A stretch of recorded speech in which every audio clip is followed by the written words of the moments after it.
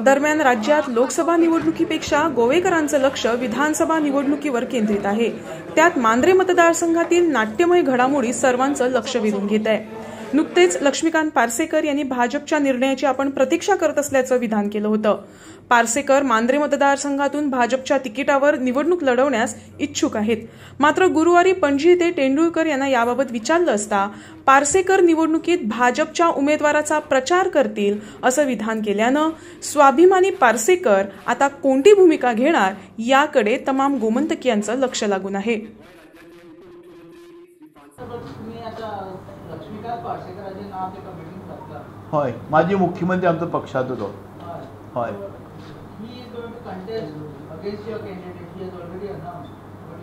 काल तेजी press conference जाली आनी तेणें सांगलें आपूण पक्षा बरोबर आसा आनी म्हाका पूर्ण विश्वास आसा ते पक्षाचे आमचे नेते आसा आनी ते पक्षा बरोबर रावता आनी आमचे उमेदवाराचो प्रचार करता आनी आमचे उमेदवाराचो प्रचार करता आनी आमचे उमेदवाराचो प्रचार करता लोकसभेसाठी गोव्यातील उमेदवारी कुणाला मिळणार हे निश्चित असलं तरी येत्या अठरा मार्चला दिल्ली येथे भाजपच्या केंद्रीय निवड समितीच्या बैठकीत दोन्ही लोकसभा जागांसाठी श्रीपाद नाईक तसंच नरेंद्र सावईकर यांच्या नावाची औपचारिक घोषणा केली जाणार असल्याचं सांगण्यात आलंय.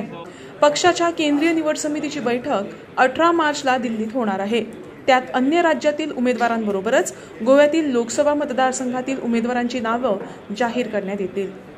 एक्चुली दोन्ही सिटींग एम पी आसा आनी साहजिकूच तेकाच आमी टिकेट दितले प्रोसेस आज ऑफिशियली डिक्लेअर ऑफिशियली डिक्लेअर जावना आज श्रीपाद नायकान म्हाळसेक नाल्ल दवरून देवाची ओटी भरून तेजे घरकान्नीन अ, तसो प्रियोळ मतदारसंघांतल्यान प्रचाराक सुरवात केल्या.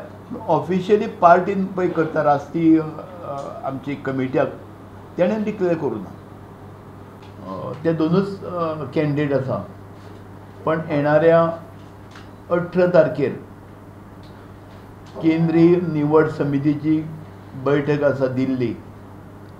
थंय हांव आनी संघटन मंत्री त्या बैठकीक आसतले आनी थंय ह्या नांवाक क्लियरन्स मेळटलें. आनी मागीरूच ती दोनूय नांवां जाहीर करतली केंद्रीय समितींतल्यान.